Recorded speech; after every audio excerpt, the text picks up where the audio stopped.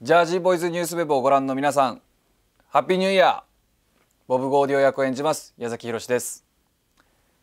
えー、僕が演じるボブゴーディオという役はですね、えー、まあこのフォーシーズンズにえっ、ー、と最後に加入するメンバーで、まあ4番目に加入するメンバーで、でその中でキーボード奏者で、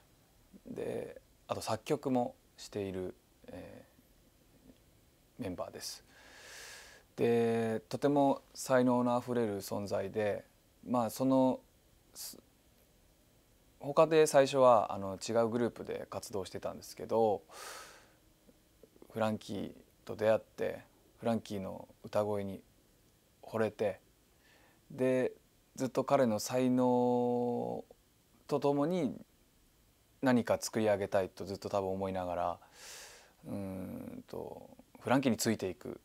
フランキーを輝かせたいと思ってるような役だと思います。まあ、その思いが強かったからこそ多分メンバーの中でちょっとトラブルが起きてしまうきっかけになってしまう役なんですけれどもまあ本当に音楽を愛してる役というかまあそうですねまあ、フォーシーズンズの歌をずっと作ってる役でもありますしそれでいてなんだろうバンドの成功も多分プロデュース面でもすごく、あの考えてる人でうん多分新しい考えその当時すごく新しい考えを持ってた人物なんではないかなと思います。でまたちょっと話重なりますけどフランキーをずっと追いかけてたっていうところを今回やっぱ自分自身ちょっと大事にしていきたいななんて思います。あの役の中で、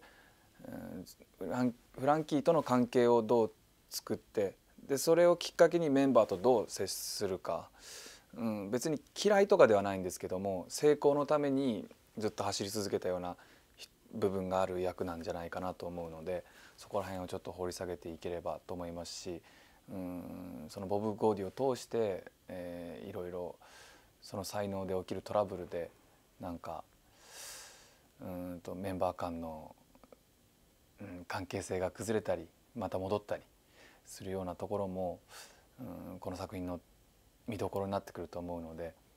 まあ、そう楽しんでいただけるような役作りにできればなと思います。でそうですね。2016年はですねどんな年にしたいだろ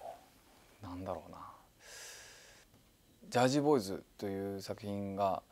あの自分の中で、えー、とても大きいなと思っていてこの夏にですねまたどんなステージになっているのか多分ずっとその楽しみで多分今年の前半は過ごすでしょうしジャージーボーイズを経験してまたその後半自分がどうなっていくのかまあ、抱負というより今年はなんかそういうジャージボーイズの作品があるのでなんかそこがすごく楽しみです。あのとてもなんだろう自分自身とても気持ちの入る気合の入る作品ですし、えーとうん、そうですね逆にそんな自分を見守っていただける年になればいいかなと思います。まあ、自分にとってすごく大切な作品になると思いますので、えー、その気持ちのこもった気合の入った、えー、ジャージボーイズをぜひ、えー、皆様お客様クリエに来ていただければなと思います、えー、僕たちジャージボーイズに会いに来てくれたら嬉しいです。よろしくお願いします。